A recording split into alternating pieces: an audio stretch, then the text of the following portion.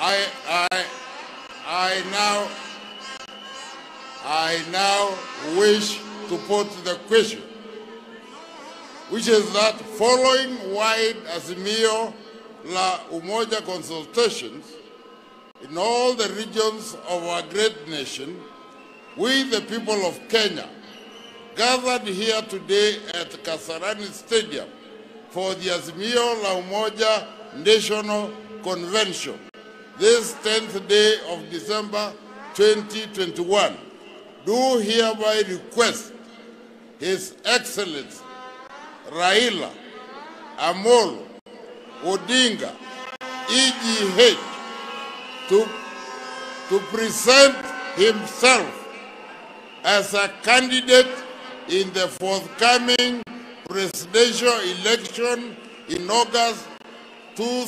2022. As many as of that opinion say aye.